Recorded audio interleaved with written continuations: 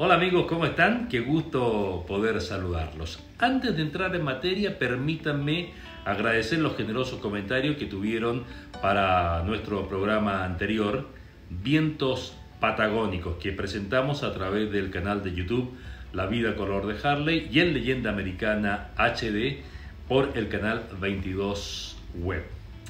La verdad que el valor de, dicho programa tiene que ver con los testimonios de quienes fueron, se despeinaron y nos contaron sus experiencias allá en la Patagonia. Muchas gracias, la verdad este, estamos muy agradecidos, muy contentos por la respuesta de cada uno de ustedes. Bueno, en el momento que estamos grabando hoy esta columna, afuera está lloviendo generosamente y además está bastante fresquito. Y es lógico, ya ha comenzado el otoño en el hemisferio sur, ¿no es cierto? Y las condiciones climáticas se tornan más húmedas, más lluviosas y más frías.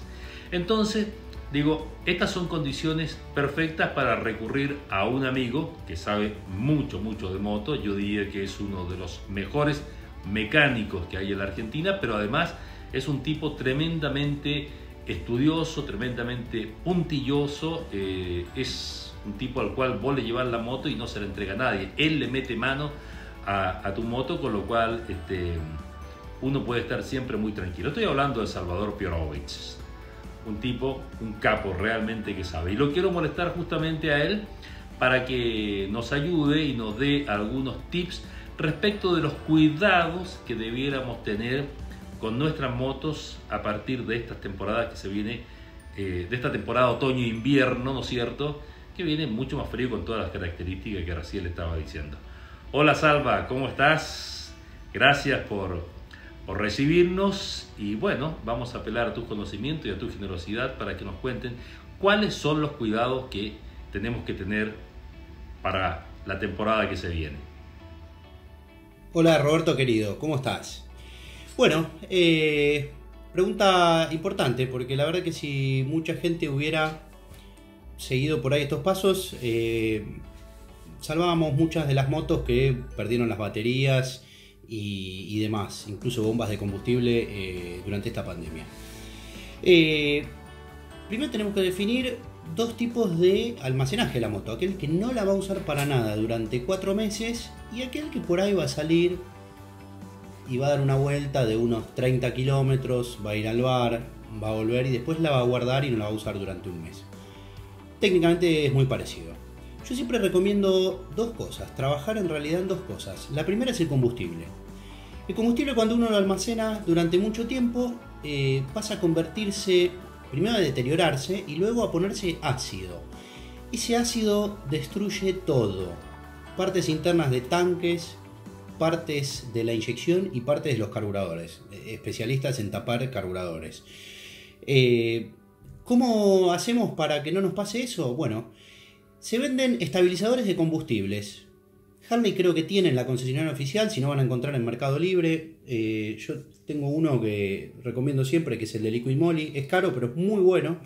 Y si no, cualquier casa de marina, como varón en, zona norte, bueno, eh, o cualquier casa donde hagan, vendan productos para, guardar eh, lanchas durante el invierno, todas venden estos estabilizadores de combustible.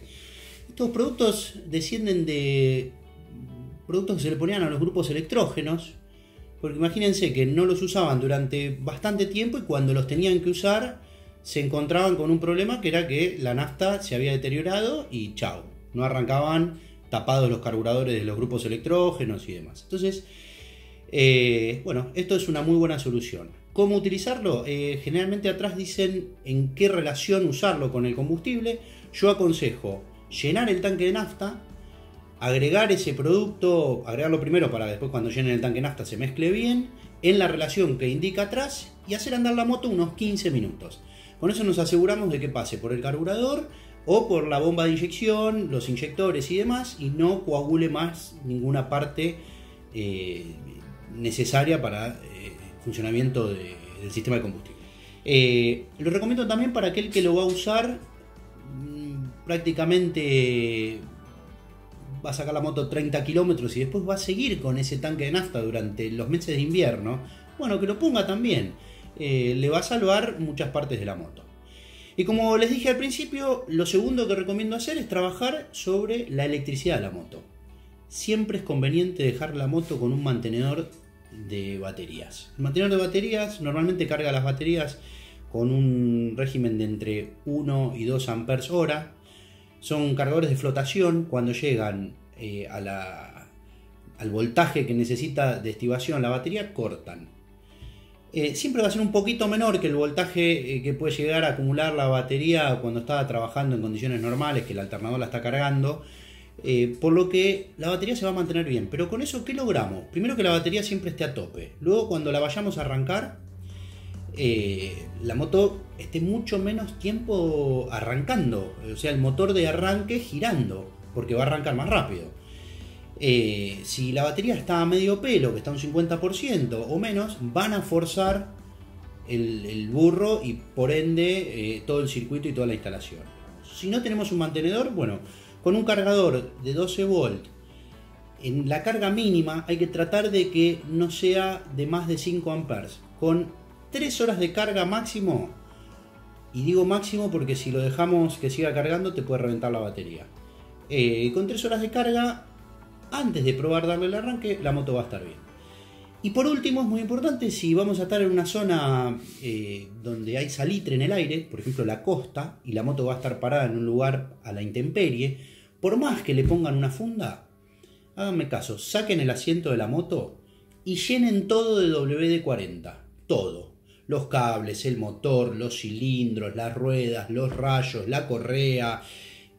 Tratemos que dentro las pastillas de freno no, pero la parte de afuera del caliper, todo eso va a impedir, va a generar una barrera y va a impedir que la sal nos ataque eh, las partes de aluminio que, pueden permear la pintura y, con el tiempo, lo habrán visto en varias motos, que se levanta abajo del cromo, se genera eh, ese esa relación que se hace entre el aluminio y la sal, que es desastrosa porque nos rompe todas las motos. Así que llenan todo el WD-40. Cuando la van a arrancar, cuando entró el calorcito, si la moto estuvo parada dos meses, cuatro, seis, la van a arrancar, la lavan. El WD-40 sale con cualquier detergente ecológico. Y bien, tranquilo, con manguera un rato largo y la moto va a estar lista para arrancar. Acuérdense, combustible, electricidad. Salva, ya que estamos y te quiero sacar un poco del tema que estábamos charlando porque me quiero aprovechar de vos para comentarte lo siguiente. Algo, algo que ocurrió con Harley Davidson y se ha sabido muy poco o se ha sabido prácticamente nada.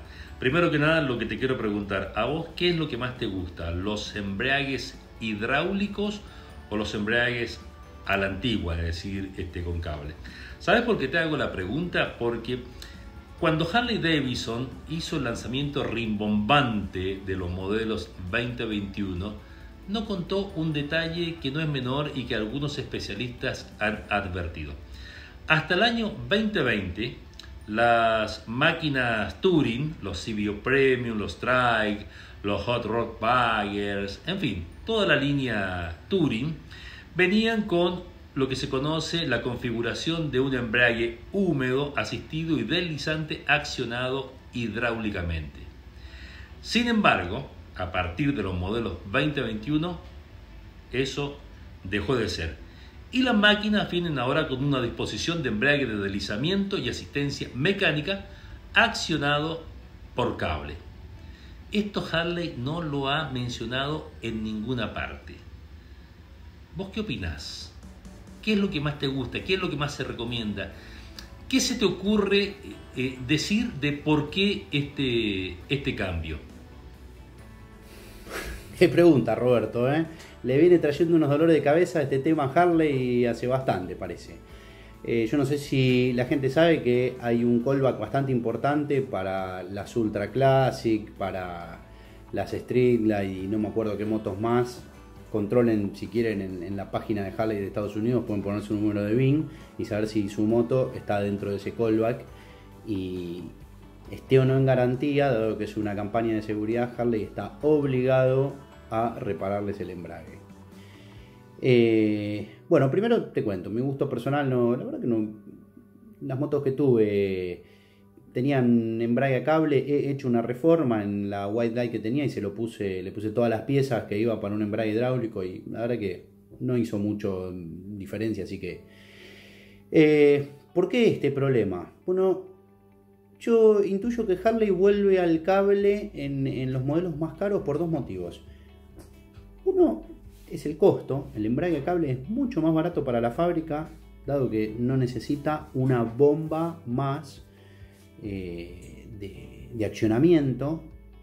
Y aparte el bombín abajo, lo que si uno eh, compara en precios de todo el mecanismo, si lo compra aftermarket a cable y el embrague hidráulico, el embrague hidráulico está alrededor de comprar todo, ¿no? La bomba, la palanca, eh, el mallado y demás, está casi 700 dólares arriba del otro embrague. Así que supongo que a la fábrica le cuesta 200, 300, bueno, es un costo.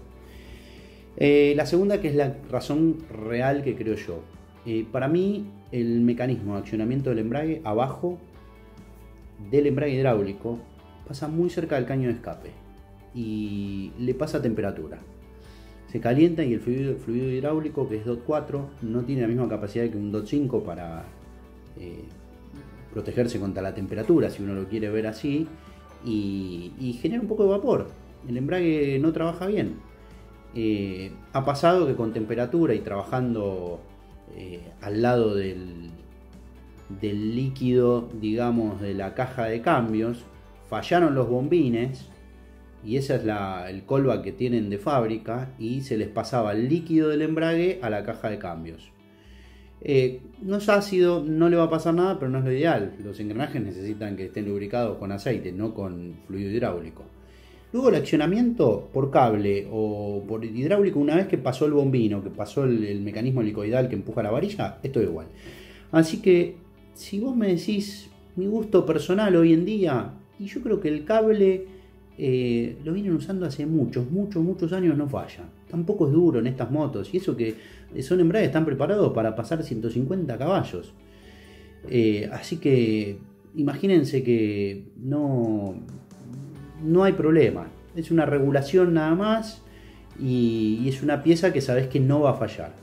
Eh, es muy raro que se corte un cable de, un embrague de Harley, por lo que no, no, no es un problema. Ahora, si es un problema si te falla el embrague porque hubo temperatura, porque te generó vapor adentro del circuito hidráulico del embrague, que vos vengas de repente en primera quieras poner punto muerto, o de segunda a punto muerto llegando a un semáforo y no puedas desembragar y, te encuentres con que apretaste la palanca y la moto sigue en cambio.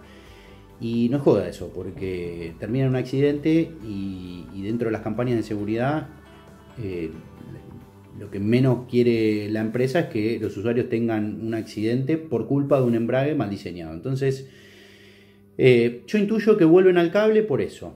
Si te fijas, el, mecanismo de accionamiento del embrague hidráulico pasa muy, muy, muy cerca del caño de escape. No hablemos si pones un caño de escape aftermarket, un Van Heinz, un Bassani o algo en una Touring, que ya pasa a 3 milímetros. Entonces, imagínense un caño de escape de acción oxidable pasando al lado de la caja de cambios y del accionador del embrague. Eh, resultó con varios problemas, así que eh, yo supongo que Harley vuelve al cable por eso. Eh, no creo que haya un solo problema. Bueno, Salva, un millón de gracias. La verdad que siempre es interesante escucharte porque uno aprende. Una línea más respecto de los embragues hidráulicos. Yo tengo una Touring 2017 y en algún momento el embrague hidráulico falló. La llevé al servicio técnico oficial de Harley rápidamente detectaron eh, la falla y además cambiaron la pieza sin costo porque formaba parte de un recall eh, de la marca sobre esa falla. Quizás algo de eso tenga que ver con, este con esto de volver a los embragues de cable. Lo dejamos hasta ahí.